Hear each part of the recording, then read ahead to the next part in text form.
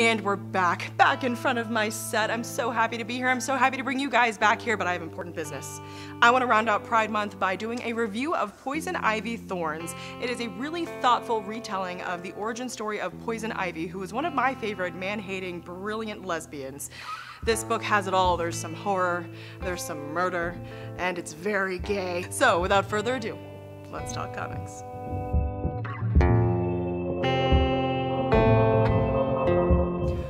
I'll start out the gate by saying I recommend you pick up this comic at your local comic retailer. It was really good. It was easy to read, not because um, it was dumbed down in any way, because you wanted to consume the content. It's really beautiful. It was illustrated by Sara Kipin. It was written by Kody Keplinger. And Kody Keplinger is an out and proud lesbian. You can find it on her Twitter bio. And you can tell in the way that she wrote Poison Ivy. You can tell that Poison Ivy in this comic was written by a woman who thought about a woman's experience in the world and what trauma from the men around her can do, right? And I thought that it was just so refreshing because often we see female characters in superhero stories, whether they be heroines or morally gray or bad guys, uh, through the male gaze, which looks a lot like this. You know, and that's what it is, but it was just really refreshing to me as a queer woman to read this queer story that also was just dark and, and gritty, but not in an overplayed way. It was just, it was very good. I really enjoyed it. I, let me just stress that right now. And so to just kind of lay it out simply for you, Pamela is in high school and you sort of start out seeing her commit this uh, casual bioterrorism um, crime? Because she's trying to protect some plants in this area that's going to be developed, you know, and so you see her start out with this very intense, she's taking a stance and she's taking control and you're like, oh, like good for you, but come to find out, you know, Pamela has almost no autonomy in the beginning. Her, her dad is unfortunately um, guilting her into things, manipulating her, and quite literally torturing her all under the guise of trying to find what's the matter with her mother, who's being kept in the attic, Jane Eyre style sad, right? And Pamela wants to help because she feels like, one, she can't say no because that's her mom and she loves her mom so much and she wants to help. And that's just some real not great manipulation, if you ask me. And then, you know, of course, there's the stereotypical guy at school who's lying about having slept with her and like kind of harassing her. But in comes one of my favorite characters, of course, except for Pamela, Alice. She's tiny little goth girlfriend, tiny little goth girlfriend, I can talk. And everybody should have a tiny goth girlfriend, in my opinion. They're just, they're very cute. This story has a lot of horror and a lot of bad things that happen to Pamela to, in order to sort of get the phoenix rising from the flames situation. Um, but the romance was really effortless. It was sweet and it was kind and it, it showed the way that Pamela was able to learn to trust and that it was important to her story arc. So it wasn't just in there for no reason, right? And I really appreciated that because sometimes it just feels like I don't know, people are smooching just just cuz. But I, I really enjoyed it and I really liked Alice's character. She did a good job holding up Pamela's character while also being like her own cute, quirky, assertive self. And I think that that helped Pamela a lot on her way as she tries to break essentially out of the shackles of the patriarchy. Sister, we're all out here trying to do that, right? And I don't want to give you all of the details, right? Because I want you to read this comic because it was really good. But ultimately, I'll say I really liked Pamela's path from innocence to independence, right? We got to see along the way the people and the way that they shaped her life and the way trauma shapes her life, right? Um, and the way that she chose to, to trust some people and not trust other people. And that really flavors the character of Poison Ivy.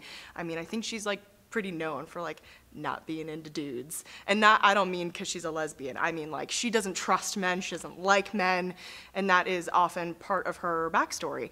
And I, I, think that this was such an illustrative way to show maybe why in adulthood she may feel this way because we know that ultimately she goes on to go to school and she becomes like this prolific botanist even though she's often portrayed as like a villain or at least morally gray right? However, there were some things that were definitely left up to interpretation, um, sort of the killing joke style, except not like that. It's more like, you know, you question whether or not Pamela came to her independence because she was so sick of the things that were happening to her, because she was taking that back, or because she had some sort of mental breakdown due to the experiments that her dad was forcing on her. I mean, some of them even killed her. He brought her back to life. They were very terrible. And, you know, like, she was experiencing some issues. You know, that's how she got her powers to talk to plants, but she was also experiencing some mental health issues because of that stuff. So was she really taking back her independence or was she having some mental health issues? I think that's open to interpretation, but not in a bad way, because ultimately, whatever the catalyst was, we know that she finds success in herself later on, right? Because we're familiar with the character of Poison Ivy. Um, so I don't think that it was framed to blame mental illness in any way, to um, make it seem like she needed to be mentally ill in order to be free. Like it didn't feel like that at all.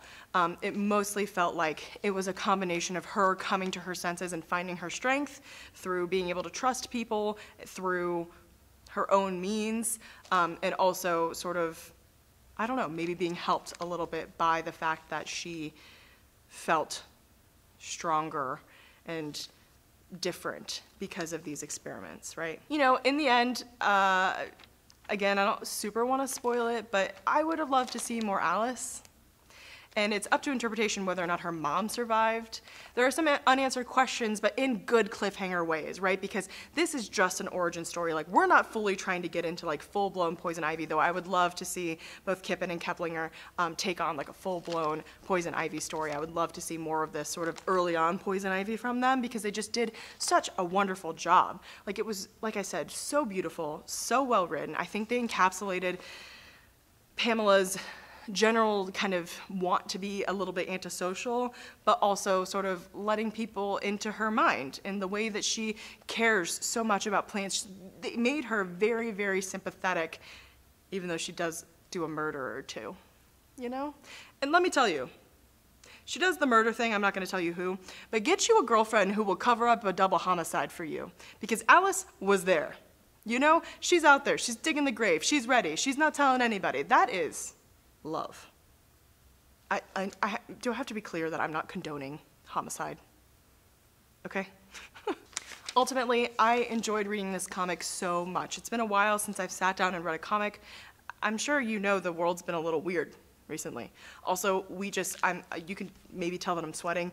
It's been hot here in the Pacific Northwest. Um, it's just been thing after thing, so I was so happy to be able to sit down with this comic and just have such a lovely reintroduction into reading a graphic novel, right? It's lovely. I would recommend it to anybody. There are some very heavy themes, like I said before. If you find that triggering, maybe not the book for you. But if you're okay with that kind of stuff, if you like a good, like, gothic horror sort of situation, right up your street. Appropriately gay. Read it in Pride Month, out of Pride Month, whatever. I can't recommend it enough.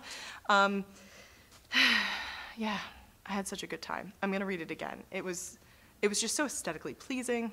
I'm just, I know, I'm ranting, I'm raving, I'm sorry. Pick it up, read it, let me know what you think. You can find me on Twitter at hello underscore destiny. You can also comment below. This is YouTube. Leave me a comment. I would love that. I love talking to you guys. Next week, I'll be back with um, Easter eggs, hidden stuff, background stuff on episodes three and four of Loki. I'm really excited to chat with you guys about that, but the only thing I have to say for now is Canon bi Loki.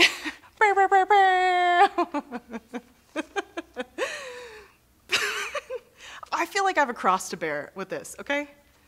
I'm bisexual. It's Pride Month. Let me have this, all right? Thank you so much for watching. I feel mildly insufferable. It's really hot in this room. Maybe that's what's up. But thank you guys for all of your patience. I love that you stick with me no matter the kind of content that I turn, but I'm looking to read more comics recently. I gotta hit up Floating World Comics at 400 Northwest Couch Street here in Portland. I'm so excited to see them again now that I'm fully vaxxed and I'm feeling great about being out in the world masked, of course. You know, still, we're being careful for ourselves and other people. It's just the right thing to do. Um, anyway, thank you so much. Like, comment, subscribe, all those things I'm supposed to tell you to do because I'm on YouTube. I appreciate you. I will see you at same-ish time, same place. And until then, this has been Nerd News with Destiny. That's me. Happy Pride.